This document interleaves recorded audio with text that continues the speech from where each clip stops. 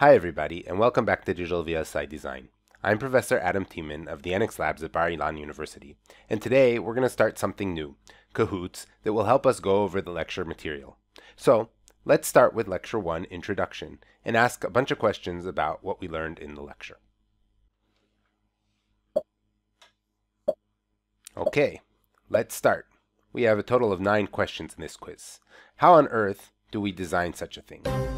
And what we see here is a simplistic view of a mobile phone. We have I.O. control, GUI, ADCs and DACs, GPS, uh, RF, communication control, power management, all these types of things. Do we use design abstraction, design automation, design reuse, or maybe it's all of the above?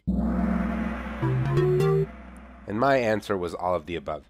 So let's go back and take a look at how we got there. So as we saw in one of our um, slides, we have the solution to how to um, build a bridge or how to do anything very complex in an engineering type of design, we need to use design abstraction, design automation, and design reuse. Abstraction means that we separate our um, field into several different pieces where we have a different team or a different engineer or a different designer that designs, that is an expert in their part. They know about the parts that are adjacent to it, but they actually have some inputs from the part below it and the outputs to the uh, part uh, above it, and that's how we have this interface between them and everyone communicates. But by div dividing and conquering, we can really do um, a good job on what we know how to do and let the other ones solve the other parts and give us the parts we need through these inputs and outputs. That's design abstraction. Design automation, of course, is building computers usually or some sort of an automation that will help us do things in an automatic type of way so we don't have to do things manually. Um, of course, when we're dealing with millions, billions, or whatever of transistors and of logic gates, we can't do it by hand anymore.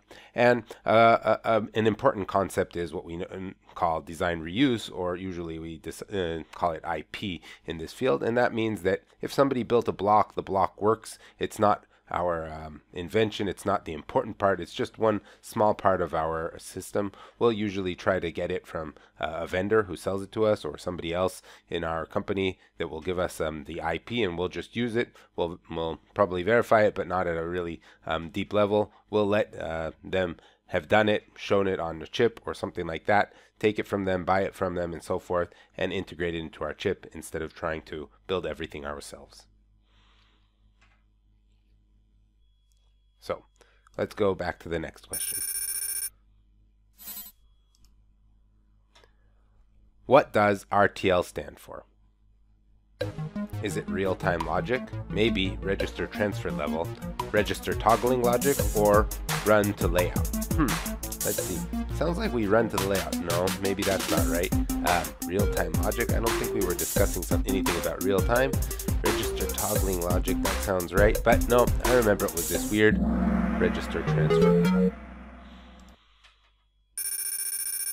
Okay, so again, going back to our um, slides over here, we saw that register transfer level is the cycle accurate model that's very close to the hardware implementation. And actually, it's just a very strange way of calling this thing that we do, where we um, have our uh, registers that hold the state of our system. We have a bunch of logic that goes uh, after them, which is just Boolean logic, and then a bunch of registers that capture the next state. Um, we can actually kind of show that in this type of a way that we'll be seeing often throughout the course. So we have a bunch of registers over here. We have some sort of a logic and our state is basically the registers, whatever we have here, here, here, and maybe some primary inputs to our design. Okay, then we have this logic. This is just a, some f of a, b, c, etc. Okay, and it goes into several other registers. These can also be the same register, nobody said differently, which is the next state of our design. So that is register transfer logic because these registers are basically transferring to that those registers through some sort of a logic. And that's what RTL is called, or that is what synthesizable Verilog or synthesizable hardware description language is.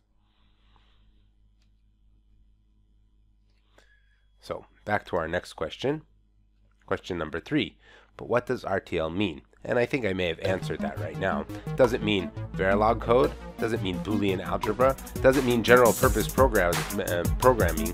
Or maybe it's synthesizable logic design? So as we said right now, it, it is kind of all of these things. When we talk about Verilog, we usually are talking about RTL, but that's not the actual um, name. That's not the actual meaning. We're talking about synthesizable RTL. It's just a subset of Verilog, which is synthesizable or a subset of, um, of uh, VHDL or system Verilog, etc. Um, Boolean algebra, yeah, we can do Boolean algebra within RTL. General purpose programming is for sure not that. That would be kind of a standard type of a uh, uh, of that would be a kind of a standard type of programming. Okay, so that brings us to our next question. Hey, I got it right. What is GTL? So, is GTL a net list of Boolean logic gates? Maybe it's a cool computer game where you shoot people. Hmm. I think that was GTA, okay. Uh, RTL's little brother, that sounds like a good one. Or a general purpose program like C code. Well, um, gate level is uh, just a net list of Boolean gates. So that's the gate level abstraction.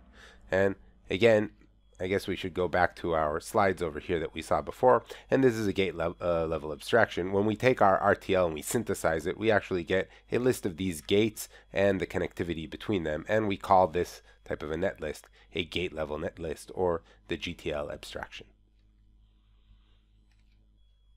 So let's go to our next question, see if I got it right. Oh, I'm in first place.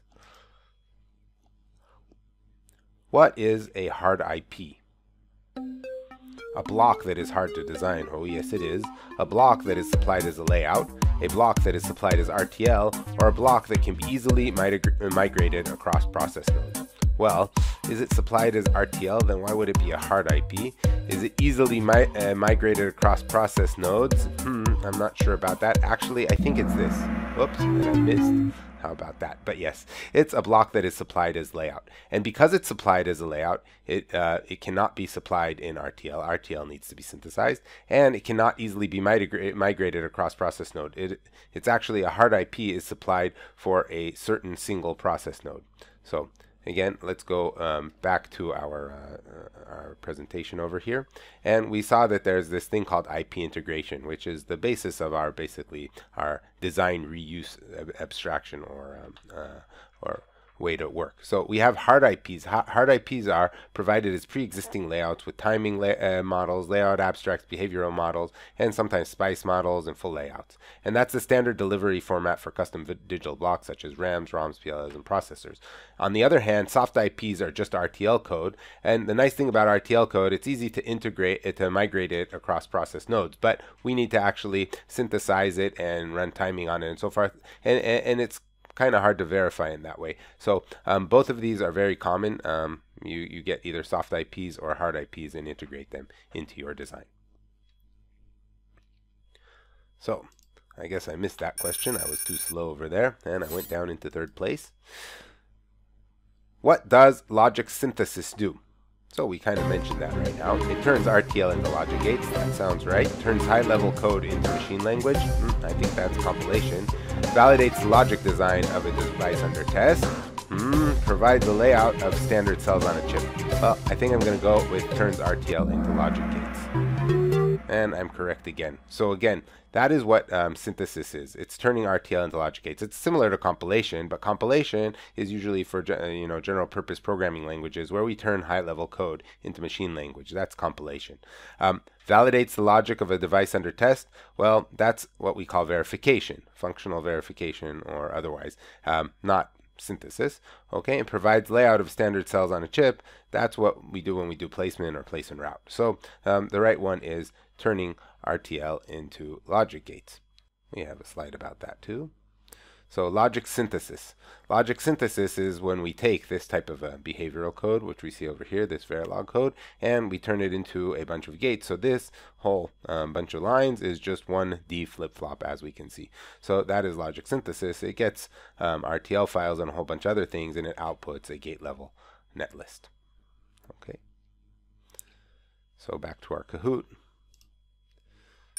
And I went back up to second place. Cool. What has to be provided by the Foundry? RTL, standard cells, design rules, or EDA tools? Hmm. Let's see. Um, RTL, I think we write by ourselves. We don't get it from the Foundry. EDA tools, I think an EDA provider gives us that. Standard cells, well, maybe I can buy that from any vendor, but design rules, that's from the foundry. Okay, so that is the answer. RT, uh, Actually, we like to use this kind of uh, um, an analogy to an author. We're, uh, as a fabless company, in which we would often be working in as a designer, we are the authors, and the author is writing the RTL. So the RTL is the author. The foundry, on the other hand, is um, the the printing press. The printing press has to tell us what the design rules are, like what the margins are at the um, edge of our page or something like that. Um, EDA tools, that's uh, like our um, word processor or something like that that we're using. So that's not provided by the Foundry, that's by an EDA provider, such as Cadence, Synopsys, Mentor Graphics, etc. And the standard cells, well, the standard cells are often provided by the Foundry, but there are external vendors that provide standard cells. For example, ARM, um, which uh, bought a company called Artisan, which is one of the famous uh, standard cell providers. Synopsys also makes standard cells. So standard cells can be provided by a, an IP vendor and not necessarily by the Foundry.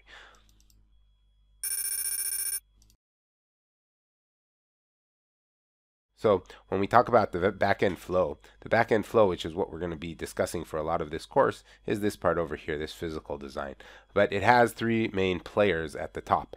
And what we asked about now is the Foundry. The Foundry has to provide the device models, the tech technology file, and the design rules. That's what the Foundry has to provide. Um, the vendors, on the other hand, they can build standard cells based on uh, these guys over here. They can build a memory compiler to give us SRAM blocks. They can build an, I, uh, an I.O. library to give us the input-output circuits and different types of hard IPs that maybe we're going to buy from the vendors. Uh, at the front end, uh, on the other hand, we have you know our spec, our architecture, the RTL that we're going to build in, our verification that we're going to get. We also have all kinds of IPs that we'll buy from vendors in uh, soft IPs, verification IPs, and so forth. So those are the three main players in the design, uh, in the in the front end design, I would say. Um, going into the back end, um, we also need obviously the foundry and the standard cell definition to implement our chip. So back to our Kahoot. What is the correct order of the backend flow? Synthesis, floor plan, placement, CTS, routing, sign off, floor plan, quadrant synthesis, placement, synthesis, routing, sign off, placement, synthesis, CTS, floor plan, routing, sign off, sign off, synthesis, CTS, routing, and placement. Hmm, how do we start over there? I think we'll go for this one. Right. I didn't have much time to actually check, but yes. Okay, so let's go back to our slides. And we'll see our whole backend flow. So our backend flow started with our RTL that our front-end designers uh, designed and verified, um, and SDC, which are the design constraints. And these go into the synthesizer um, along with the standard cells and macros, and they synthesize this together into a gate level. So our first, our first um, step is synthesis. We then go through uh, ATPG or uh, scan insertion, which we're not going to be discussing in this course, and and we take our um, gate level netlist that has scan in it, and we go over to the placer. So then we do placement. What we have to do is first design our floor plan, our power grid, and our special routing, and give that as uh, as inputs to our placer. When we um, finally we get a list of our uh, the coordinates of each of our standard cells, and of course we have the gate level netlist, which shows the connectivity between them. We bring that over to the clock tree synthesizer. Now that we have the um, placements of our flip-flops, we know where all the clocked elements are in our design are, and we can do our clock tree synthesis, which is to build our like tree, um, our buffer tree that uh, brings the clock from the clock source to each of these clocked elements. Okay, and um, now we have our design with the clock tree, and we can go over to the routing stage where we connect all the signal pins. Finally, we get a routed design, and we do our different types of validations, our physical validations such as DRC and LVS, etc. Okay. So I stayed put in second place. And question number nine, a hardish one. What is hardware emulation? Simulating your RTL and displaying waveforms, synthesizing your RTL to an FPGA and running simulations, mapping your design to a very strong machine and simulating, or taping out a test chip to make sure your system works before production. Well, I actually looked at the slides before and I know it's this guy. And um, this we, we could call it prototyping, and there are two types of prototyping. Um, prototyping, the first type is FPGA prototyping, where we actually take our design and we map it to an FPGA. So we synthesize the design to one or to mini FPGAs if it's a bigger chip, and this really helps us speed up testing. So usually we're going to be running verification on some sort of a, a um, uh, of a general purpose machine, and it has to really go and run, uh, you know, in a single threaded type of way each step uh, of modeling the gates and so forth, and see what's going to be happening, and that takes a long time. But if we go and we synthesize things to an FPGA, then they become hardware, and everything works in parallel. It becomes much, much, much faster, and we can go uh, with FPGA prototyping and test our design much faster. But the problem with FPGA prototyping are two things. First of all, FPGAs are limited in size, um, though nowadays we can get over that by tying together many, many FPGAs. Um, uh, another another big problem is that we don't actually map to the standard cells themselves exactly how they're built, but we do it to FPGA um, types of primitives. So the way to get a more accurate uh, type of uh, debugging is to use hardware emulation. And there we take one of these big um, boxes uh, or more refrigerators here, which is just a set of mini, mini, mini, mini, mini, mini uh, servers with lots of cores on them. And we can actually go and put a certain number of gates on each one of these cores. And with a really complex and uh, cool connectivity between them, we can map our whole design at gate level to one of these big servers and still run it um, at uh, high speed. So we can do things like booting Linux on such a machine. So that is how we uh, that is what we call hardware emulation versus FPGA prototyping. And just to see our Kahoot, um, let's see who won. So our virtual contestant named Nancy came out third. I stayed in second place. And the first place goes to our virtual contestant who was really smart. She actually so I hope that helped you, and you're welcome to send me questions. on